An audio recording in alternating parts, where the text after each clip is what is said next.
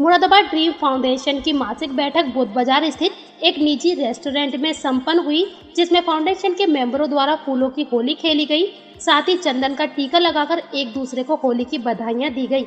इस मौके पर फाउंडेशन के कई सम्मान में मेंबर मौजूद रहे और सबने साथ मिलकर फाउंडेशन के वरिष्ठ मेंबर जतिन प्रजापति का जन्मदिन केक काट कर मनाया और एक दूसरे को होली की बधाइयाँ दी। इस मौके पर मुरादाबाद ड्रीम फाउंडेशन के अध्यक्ष शिवेंद्र जैन द्वारा बैठक में आए सभी मेंबरों का आभार व्यक्त किया गया। बैठक का संचालन मुरादाबाद ट्रेन फाउंडेशन के महासचिव श्री मदान द्वारा किया गया। नमस्कार, मैं सुरेंद्र जैन, अध्यक्ष मुरादाबाद ड्रीम फाउंडेशन। जैसे हर वर्ष की भांति हम फूलों से और चंदन का तिलक लगा के होली खेलते हैं। पुरानी अपनी जो परंपरा है, साधन परंपरा। उसके हिसाब से होली खेलते हैं। सभी पहाड़ वासियों के निवेदन ये होली बहुत प्रेम और सौहार्द का त्यौहार है। इस रास्ते पर लड़ाई झगड़ा किसी को जोस्ते न लगाए। चंदन के तिलक लगाए, फूलों की होली खेले, इत्र लगाए, बहक बढ़ाए, सनातन धर्म की परंपरा को आगे बढ़ाए। सभी से फिर निवेदन, केमिकल रंगों का प्रयोग न करें चाइनीज़ रंगों का प्रयोग न करें। बहुत ज़्यादा पानी व्यर्थ न करें।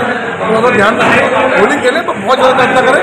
सभी को मोहम्मद दीन फाउंडेशन की ओर से होली की बहुत बहुत शुभकामनाएँ। फिर से एक बार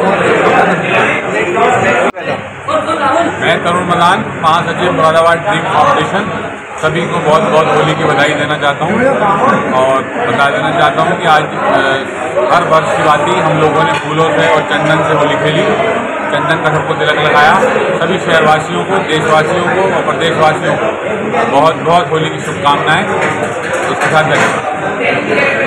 हाँ मैं जतिन प्रजापति, जतिन मोबाइल सुपर बाज़ार से। सबसे कहूँगा, होली की बहुत बहुत हार्दिक शुभकामनाएँ।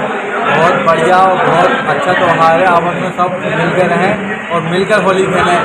और कोई विवाद न करें और बहुत अच्छा लगाएँ और ये होली का त्यौहार ऐसा है, जो सबकी दुश्मनी और जो सब कुछ सब कुछ खत्म करा देता है आपस में सबको अपना भाई बना लेता है। और होली को बहुत बढ़िया तरीके से मनाया, बहुत अच्छे रंगों से मनाया और सूखे रंगों से मनाए